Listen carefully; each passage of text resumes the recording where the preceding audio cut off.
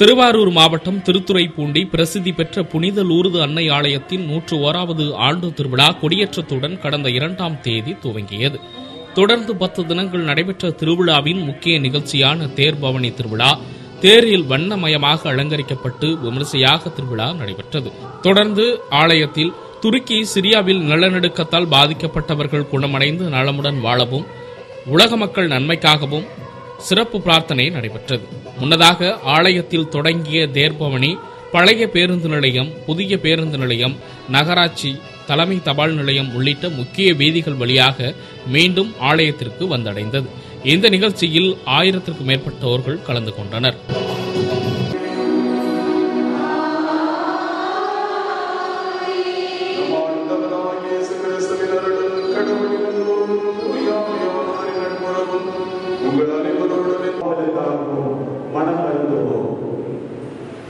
அனைவரும் அனைவர் முழங்காலிடுவோம் நம் தூது அணியோடு இணைந்து மூ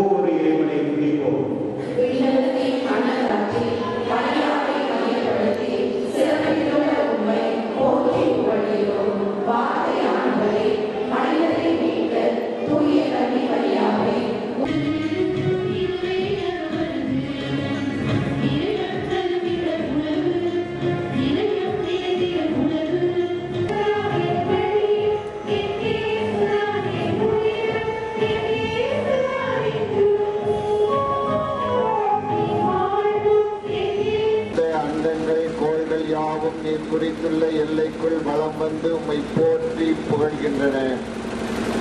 இன்று நாங்கள் தூய லூதனை வழி எங்களுக்கு உதவுவதாக. எங்கள் ஆண்டவராகிய கிறிஸ்து வழியாகவும் மன்றாடுகிறோம். ஆமேன். ஆண்டவருடைய பெயராலே நமக்கு உதவியுண்டு.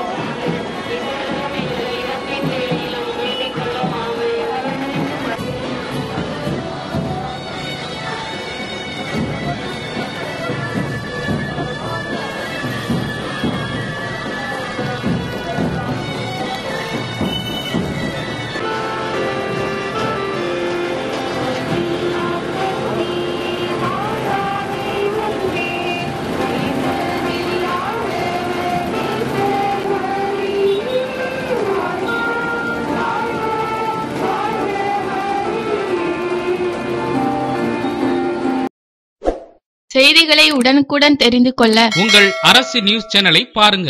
சேனலை சப்ஸ்கிரைப் பண்ணுங்க.